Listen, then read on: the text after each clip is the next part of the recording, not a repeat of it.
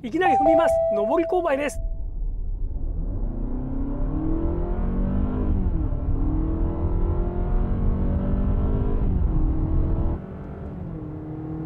気持ちいいじゃん。どうも一生声が注文です。新型アコード注目。こここれライトさ。すごいかっこいいキリッとした目なんですけれども光り方見てみましょう。ヘッドライト。ハイビーム。ハザード。で今光り方見てもらいましたが私ですねその光よりも注目ポイントがありました。それは中。これね今中に乗り込んだんですがドアの閉まり音めちゃいいんです。聞いてください。スパン。みたいな。一発収まってしかもこれハザードの音がいい。いきますよ。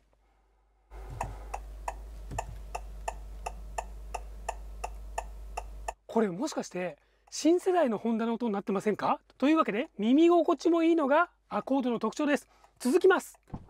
さらに注目はここ。非常にかっこいいホイールなんですがこれ見た目だけがポイントじゃありませんよ。私はねこのアコードを見てですね鼻にツーンときました。あすいません。ピーンときました。これなんとですねノイズを吸収するですね機構が入ったノイズリデューシングタイプのホイールなんです。さらに注目ここ。ボディのサイドラインなんですがシビック系をさらに進化させたようなですね水平というよりも後ろ下がりに見えるかっこいいフォルム。そのフォルムはこのようにリアにつながるわけなんですが注目ここテールライトも独特のかっこいい造形です。光り方見てみましょう。テール。ブレーキ。ハザード。リバース。そして今回ですね注目なのはフロント席周り。このようにホンダ独自のですねハニカム構造のデザインを使っていますがやっぱりね上級セダンらしいかっこよさがあります。で注目はここのライト。そうなんです。このようにアンビエントライトが使われているんです。しかもこれ車両の警告と連動してまして例えばドアを開けるとほらこのように開けた際に後方にアピールするような色変化をしたりするんです。さらにここ Google のシステムをこれですね本体で対応しています。ほら Google マップも作動します。さらにこの操作系。これですね実は北米でアコードって先行発売されてるんですけども北米アコードとは操作系が全く違います。北米はね3個ダイヤルが並んでたりしますがこのようにこれはですねシングルでこのメインのモニターと連動したりして集中操作ができるんです。また注目は実は正面。このメーター。なんてことない不具液晶に見えます？違うんです。上から見ましょう。ほらててなんとバイザーレス仕様なんですよ。いやコードはね本当に奥ゆかしくてスパイシーなこのようにね表現はしてこないんだけどよく見ると先進装備っていうのが多いんです。だってさアンビエントライトだって控えめでしょ？でねこの車エアコンをねここら辺で操作はできるんですけどこれエアコンにもすごいシステムが入っていて実はですねなんと GPS 制御の変日光変日射対応システムというものがついてます。どういうことか。これね。例えば暑いなと思ってエアコン16度とかローとかに設定しても日射が当たってるとなかなか低くならなかったりしますよね。一方光が当たってない方は低くしすぎると冷えすぎちゃう。そこでなんと車内センサーでですねあここは日が当たりすぎてるなと思ったら当たりすぎてる方を低く。そしてですね GPS と連動して今車に対して日の向きがどっちかなということを把握してですねあこっち側っていうのは日が当たってるなと思ったら日が当たってる側の冷気を強めにするみたいな制御も入ってるんです。なんて偉いんでしょう。で偉いといえば実はですね今回一番偉いのはパワーユニット。これですね日本ではシビックや ZRV に先行搭載された、えー、ホンダのですね新しい eHEV の考え方スポーツ eHEV の思想とメカニズムが取り入れられているんです。順番的にねアコードが後になっちゃったんですけども実は北米では先行でこのシステムが載ってます。何がポイントか。一番大きなポイントはエンジンの直噴化によって超高効率化していることなんですがまあそれってちょっと難しい話じゃないですか。もっと分かりやすいポイントで言うと発電用のモーターとですね駆動用のモーターがこれまで同軸配置されていてお互いがですねお互いの関連性が強かったのでホンダの eHEV システムホンダのこのシステムの特徴であるエンジン直結モードの時にですねその強みをですね完全には生かしきれてなかったんです。それを今回ですね二軸をですね全くそのエンジン側と駆動側をその軸をずらして配置したことによってですねエンジンだけの走行時の効率をですね従来よりも格段にアップさせている。というわけなんです。今回ですねドライブモードがこちらでセレクトできるんですがこのように e コンコンフォートノーマルスポーツでありますけれども他にですねこれこちら EV モードそしてこれオートモードハイブリッドモードですね。さらに長押しでチャージモードになります。フロントシート豪華な作りです。リアシートアコードの伝統ですよね。むちゃくちゃ広そうなんですが。実際座ってみると狭い。嘘です。むちゃくちゃ広い。ほらほらほら。スーパーハイトワゴンいらず。なんかこの言い方変か。矛盾ですね。トランクも広くて住めます。まずはノーマルで EV モードで走っています。このまま踏んでもあエンジンが冷えたので一時的にエンジン始動しましただって。これがねなかなか再現できないんですよね。こういうモードがあってもね。はいじゃあノーマルの普通のモードで走ります。はいオートモード。これモーターとエンジンを自在に使い分ける。つまりハイブリッドモードです。まあとりあえずですねすごく複雑に進化したシステムなんですけどはっきり言って難しい。難しいのでいきなり踏みます。上り勾配です。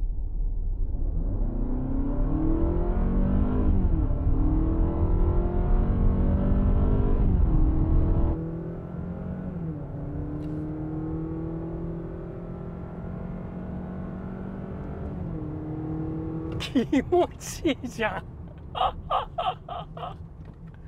いや難しいことはさておいて。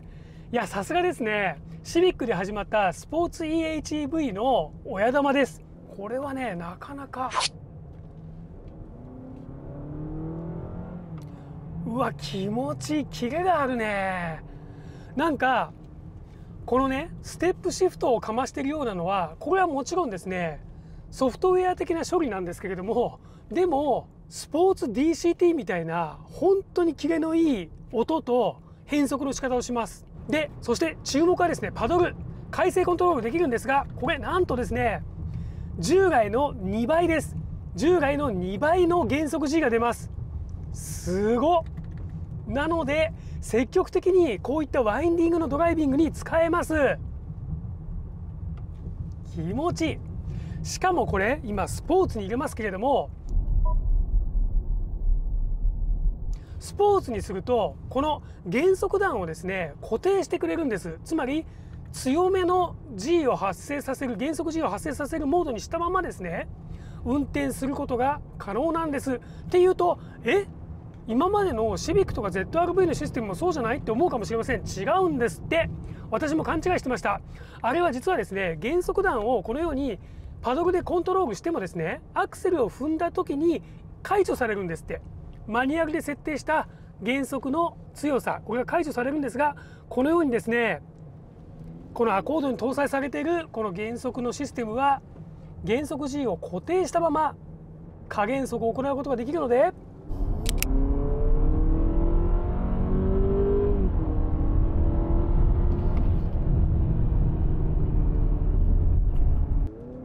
加速してアクセル離せばこう強い G が効いたまま。そしてアクセルを踏んでもう一回離してもはい強い G が効いたままという感じでですね意のままにコントロールできるようになっているんです。いや進化したね。そして気持ちいいねこの車。いや気持ちいい。全部気持ちいい。これパワーユニットの吹き上がりも気持ちいいんだけどステアリングが滑らか。むちゃくちゃ滑らか。マジかよ。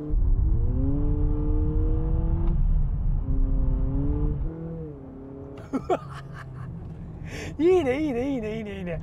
そしてこれ端回りめちゃくちゃいいやないかい。いいやないかいって感じ。本当に地面に吸い付くようとはこのこと。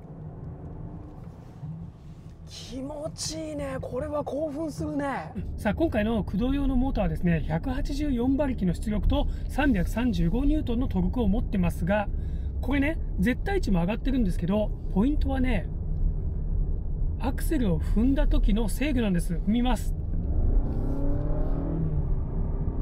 音でもわかると思うんですがこれ実はですねパワーとトルクがですね踏んだ瞬間ぐらいな感じで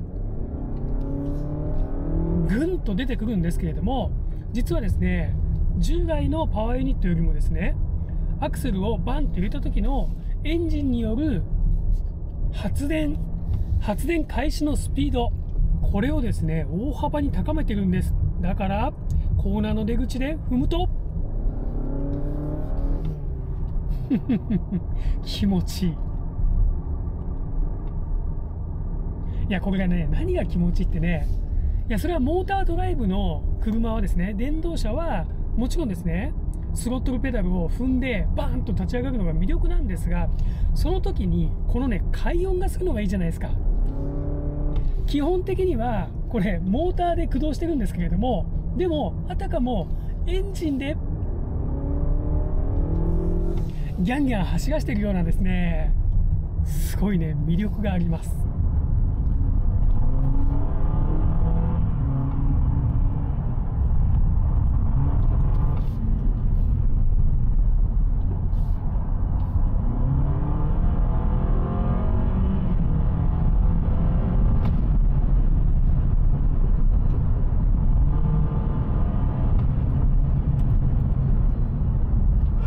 いやでねこれさすが気持ちいいのはねこれはねやっぱりねちょっとシビックとか ZRV の e:HEV と違うのはこれアダプティブダンパーがついてるからなんですがただついてるだけじゃないんです。これ今まではですねこのセンシングをですねアダプティブダンパーのコントロールを3軸でコントロールしていたんですがこれを倍の6軸6軸でコントロールするようになったのでよりリアルタイムで車の動きを完全に把握できるような形になっていてもちろんこのようにスポーツドライビングにも適しているんですが実はこれコンフォートドライビングにも効果を発揮してまして私自身も快適ですがこれ例えば後席に乗った人もね景色なんかを見ずにスマホとか熱中していても酔いにくいみたいな効果が出てきているんです。つまり車がすごくフラットに動いているので。